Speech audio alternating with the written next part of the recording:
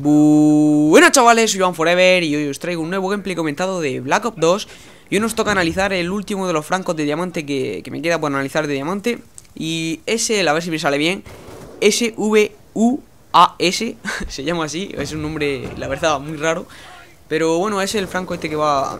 No mata de un tiro, ¿vale? Que mata de dos tiros, pero es semiautomático Así que, no sé, va bastante bien Pero ahora os comentaré más detalladamente Y bueno, ya sabéis que ya he subido todos los fusiles de diamante Con este serán todos los francos de diamante y los próximos creo que serán los fusiles de diamante, aunque tardaré un rato después de este vídeo volver a subir armas de diamante, como dos semanas a lo mejor.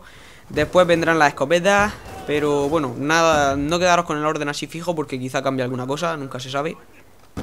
Pero luego vamos a empezar a analizar este franco, como os he dicho, es un franco que no mata de un tiro. Eh, bueno, es semiautomático.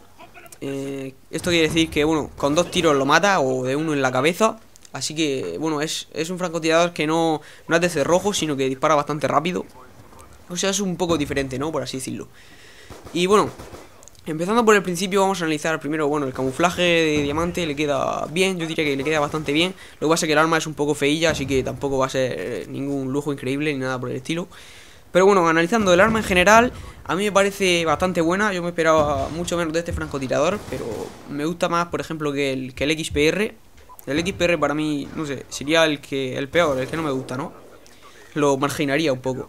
Pero bueno, este francotirador va bastante bien, eh, teniendo en cuenta que, que no es no mata de un tiro, ¿vale? Sino que es semiautomático. Es algo diferente a los demás francotiradores, pero la verdad es que no se va muy bien. Yo diría que las cosas buenas que tiene es que, bueno, es muy rápido, muy versátil, diríamos, para apuntar también desenfunda muy rápido.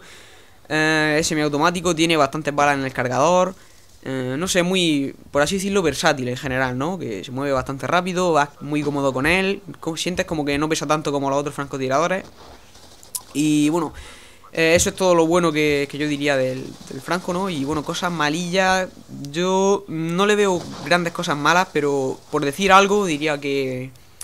Pues por ejemplo cuando dispara, eh, al ser semiautomático que dispara como con ráfaga, ¿no? Si dispara bastante rápido, eh, quizá la mirilla se mueve demasiado. Yo, para mi gusto, se debería mover un poquito menos, ¿vale? Porque pega el primer tiro y se te va arriba. Entonces, el segundo tiro, pues a lo mejor no le das o se te va un poco hacia el lado.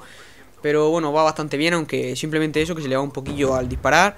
Y otra cosa es que, bueno, en la mirilla es como un triangulito. Y a mí, pues yo prefiero que el punto del centro sea un punto, un punto rojo, ¿vale? La mejor mirilla que, que yo veo es la del ballista.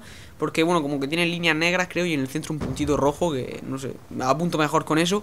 Pero igualmente tampoco hay mucha diferencia, ¿no? Un puntito a, dos rayitas da lo mismo. Así que es simplemente por decir algo porque no le veo nada así malo al francotirador. Para mí va, no sé, bastante bien. Para ser, está claro que, bueno, no ha matado un tiro, pero eso no es un fallo. El francotirador es así, ¿no? Entonces no, no lo tomaría como, como un fallo. Y bueno, eh...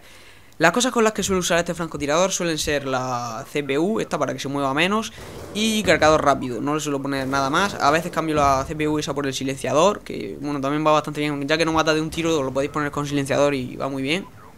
Eh, ¿Qué más cosas deciros? lo que más me ha costado sacarme de los desafíos con este francotirador, por decir alguno diría los sanguinarios, aunque en realidad ninguno me ha costado gran esfuerzo. Así que, bueno, diría los sanguinarios, pero por decir, porque todo ha salido bastante fácil. Y bueno, creo que no me queda nada más por decir, ¿no? Simplemente que en general es un buen francotirador, mata bastante bien. Yo recomiendo que, que lo uséis y yo, bueno, la lista de francotiradores lo dejaría como número uno el DSR, el mejor. Como número 2 el ballista, como número 3 el eh, SVU, aunque es bastante divertido, quizá lo intercambiaría entre los tres primeros, son bastante utilizables los tres. Y después dejaría como un poco marginado al XPR que no me gusta. Es como que a veces mata un tiro, a veces no. Y la ráfaga no es tan rápida como el, el SVU. Así que bueno, nada, yo lo dejaría así, chavales. Espero que os haya gustado el análisis de todos los francotiradores de diamante. Y nos vemos próximamente en los fusiles. Así que nada, chavales, si os ha gustado y queréis que siga con esta serie de analizando todas las armas del juego de diamante, pues votar like, añadirlo al favoritos, enseñárselo a vuestros amigos y nos vemos en la próxima. Chao.